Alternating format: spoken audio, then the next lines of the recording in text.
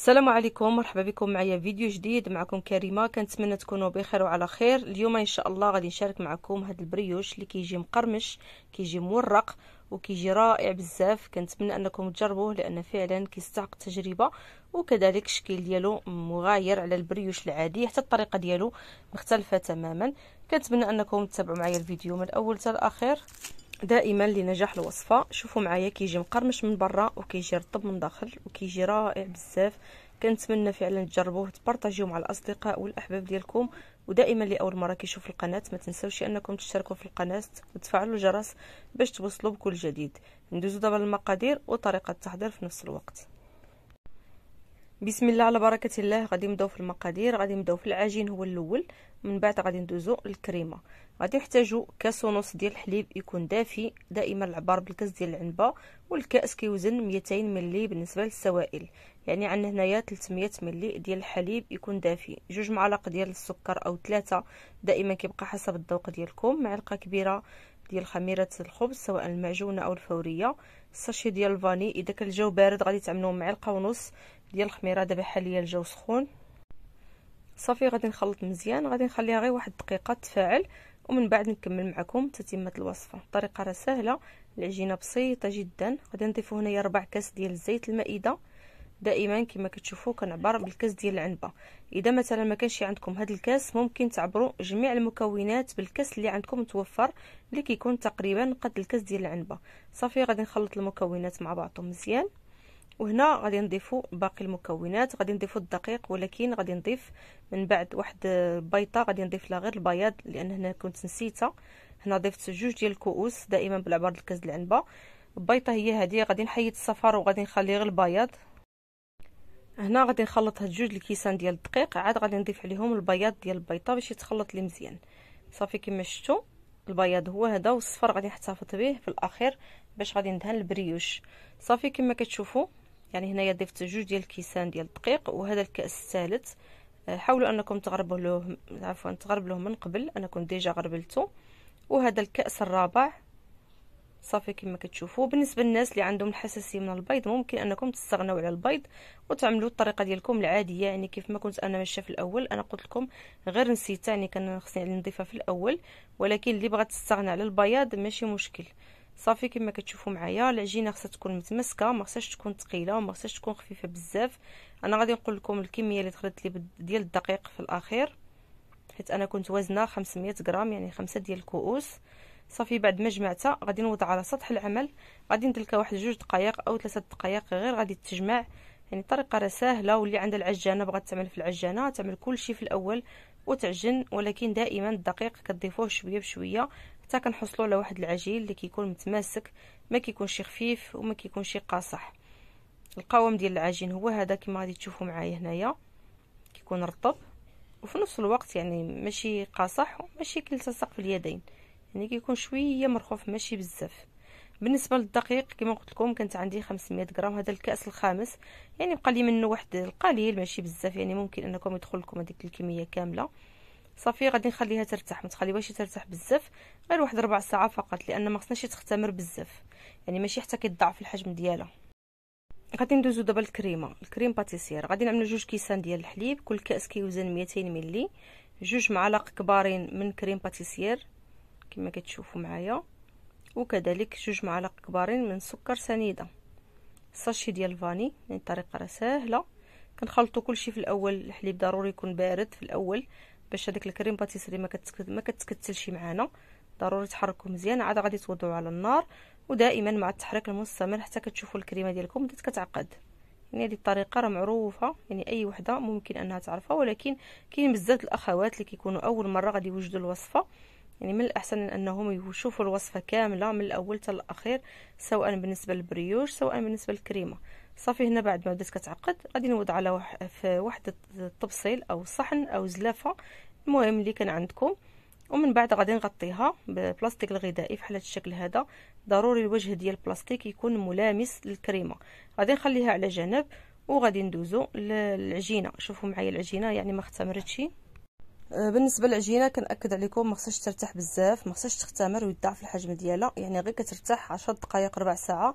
فقط. هنايا غادي ندوزو باش نطلقوها. ضروري غادي نستعملوا بشوية ديال الطحين. من بعد غادي نطلقوها حاولوا أنكم تطلقوها سواء مستطيلة أو مربعة. المهم كما كتشوفوا على هذا الشكل هذا. واش غادي نستعملوا الزبدة. بالنسبة للزبدة استعملوا أي نوع ديال الزبدة عندكم. ماشي ضروري ديال التوريق لأن كتكون النتيجه في الأخير. آه، مزيانة. صافي كما كتشوفوا معايا. هنايا عندي 150 غرام ديال الزبدة أو عملوا غير 125 غرام يعني نص ربع. ماشي مشكل. صافي بعد ما ذوبتها ضروري خصكم تخليوها تبرد. ذوبوها وخليوها تبرد شوية. أنا هنايا كنت مزروبة. داكشي علاش خدمت أنايا؟ الطبقة الأولانية كما غادي تشوفوا معايا ديال الزبدة يعني آه، شوية دافية. مع أن دابا الجو سخون يعني كتعطل شوية ما كت ما كتبرد. صافي بعد ما عملت الطبقة الأولى العجينه كم... آه عفوا الزبدة كما قلت لكم عندي سخونة. عملتها في الثلاجه تبرد شوية. وعاد خرجتها باش ما تخمر ليش وفي نفس الوقت باش تبردي الزبدة. من بعد غادي نطلقها كما كتشوفوا معايا ولكن إذا عملتوا الزبدة يعني كتكون كريمية بلا ما توضعوها في الثلاجه مباشرة غادي تخدموا بها شوفوا معايا هنا الزبدة بعد ما بردت شوية. خصها تكون تقريبا بحال هذا الشكل هذا باش ما كتعذبكمش في الخدمة. كما شفتوا يعني بعد ما عملت الزبدة في الأول كنطوي الطويه الأولى ومن بعد كنطلقها وكنعمل الزبدة المرة الثانية. كما كتشوفوا هذيك الكمية اللي كانت عندي 150 غرام. ونفس الشيء غادي نطوي عليها العجين وغادي نشد الأطراف بحال هذا الشكل هذا. صافي وغادي نكمل الطريقة راه ساهلة سهله دغيا دغيا كتوجد. صافي مباشرة غادي نقلبها. الجهة اللي كتكون مشدودة هي اللي غادي تكون الجهة ديالكم يعني على حسب الجهة ديال الشمال بحال هذا الشكل هذا. صافي وهنايا غادي نطلقها شوية وغادي نعملها واحد الطاوية. نتوما غادي تشوفوا معايا راه الطريقة ساهلة وكيجيو مرقين وكيجيو مقرمشين كما قلت لكم من برا. وكيجيو رطبين من داخل يعني واحد البريوش كيجي رائع بزاف. وهنا كذلك كنحاولوا نطلقوها باش تجينا مساوية. غادي نعملوا الطاوية الأولى الطاوية الثانية وغادي نعملوا فوق بعضهم يعني الطريقة راه سهلة. وهنا غادي نخليها غير واحد جوج دقائق باش تعطيني الطوع في الخدمة فقط. صافي هنايا غادي نقسم على ثلاثة. حاولوا أنكم تجيبوا القسمات يكونوا مقادين هنايا أنا جاوني ثلاثة وبقى لي واحد الطرف يعني ممكن أنكم تعملوا ثلاثة تقسموا على ثلاثة. يجيوكم شوية كبارين ولكن هذاك الطرف اللي بقى لي راه حتى هو غادي نخدم به. صافي غادي نجيب الطرف الأول وغادي نحاول نشكل منه مربع. هانتوما غادي تشوفوا معايا. دائما كنستعنوا بشوية ديال الدقيق. وهنا غادي نجيب واحد الموس وغادي نقطع هاد الجوانب باش يبان لي هذاك التوراق يعني يجي باين في البريوش ملي غادي ملي غادي نورقوه. صافي كما كتشوفوا دائما هذوك الأطراف ما كنضيعوهمش من بعد كنعاودو نخدموا بهم. صافي هنا غادي نقسمهم على أربعة. الطريقة راه ساهلة. صافي كما كتشوفوا معايا. بالنسبة للسمك ديالهم ما كيكونوش غلاطين وما كيكونوش رقاقين بحال هذا الشكل هذا. صافي وغادي نشكل منهم في الأول كيجيو على شكل بليغات. ومن بعد كنزيد نجمع الجوانب أخرى. يعني هذا الشكل هذا راه معروف. يعني كل وحدة والطرق ديالها. صافي كما كتشوفوا وممكن أنكم تعمروهم في الأول. أنا هنايا غادي نضغط عليهم مزيان باش غادي نثبتهم وفي نفس الوقت هذيك الحفرة اللي غادي تبقى لي هي اللي غادي نعمل فيها الكريم باتيسير. وممكن كما قلت لكم تعمروهم من داخل سواء بالمكسرات وعاد تزيدوا تعملوا الكريمة من الفوقي يعني كيبقى لكم الاختيار. يعني في هذه المرحلة ممكن أنكم تعملوا المكسرات. صافي كنحاول نشد الأطراف نثبتو مزيان. ضروري تضغطوا مزيان في ديك الحفرة لأن ديك الحفرة كما قلت لكم هي اللي غادي نعمروها بالكريم باتيسير في الأخير. صافي غادي نكمل بنفس الطريقة. تنسالي الكمية اللي عندي كاملة ومن بعد غادي نخليهم يخمروا المرة الثانية. يعني حتى غادي نعمرهم بالكريم باتيسير وغادي ندهنوهم بالصفر ديال البيض اللي كان بقى لي. عاد غادي نخليهم يخمروا باش ندوزو الطريقة ديال الطهي ديالهم. حتى هي راه مهمة جدا لأن الطريقة ديال الطهي هي اللي كتخليهم يتورقوا. لأن لما كانش الطريقة الصحيحة ما غاديش يتورقوا لكم.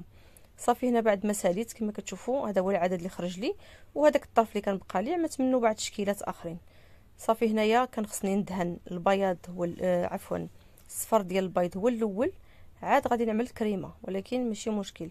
المهم أنا حتى عمرت عاد غادي ندهن بالصفر ديال البيض اللي كان بقى لي. ولكن من الأحسن أنكم تدهنوا ببيضات في الأول عاد كتعمروهم. وهنا بعد ما غادي نسالي وغادي ندهنهم كما قلت لكم غادي نخليهم يختمروا دائما كيبقى على حسب الجو.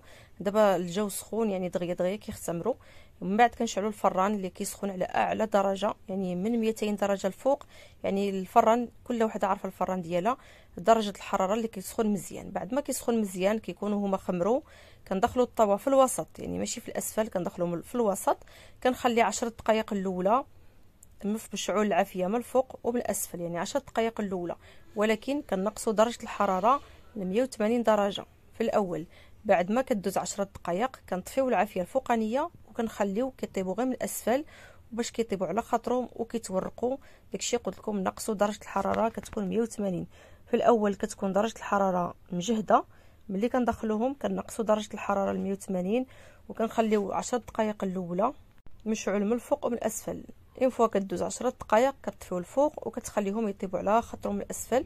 كل وحدة كما قلت لكم على حسب الفران ديالها كيديو ما بين نصف ساعة 35 دقيقة حتى ل 40 دقيقة.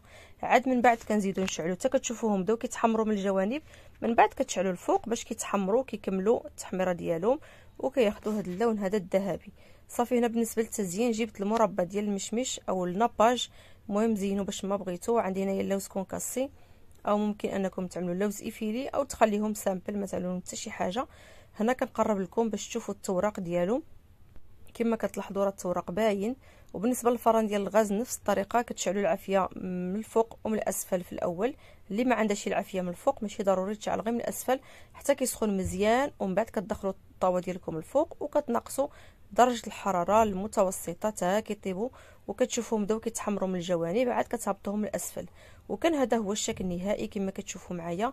كيجي الشكل ديالو مختلف تماما على البريوش العادي يعني واحد البريوش اللي صراحة كيجي رائع.